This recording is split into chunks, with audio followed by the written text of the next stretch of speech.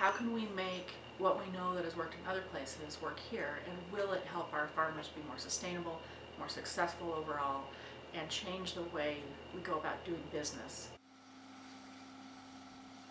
So we have a really strong team and very uh, great collaboration. Cover crops has been talked a lot about in the last several years, but the challenge for us is in dryland farming, we don't have that much moisture, we don't have that much. I'm hoping that we can find something that will, that we can change, that will make it possible so that I can continue to make a living off the land and, and hopefully my kids, if that's what they want to do. Yeah, I started the cover crop actually a year before uh, this SARE program.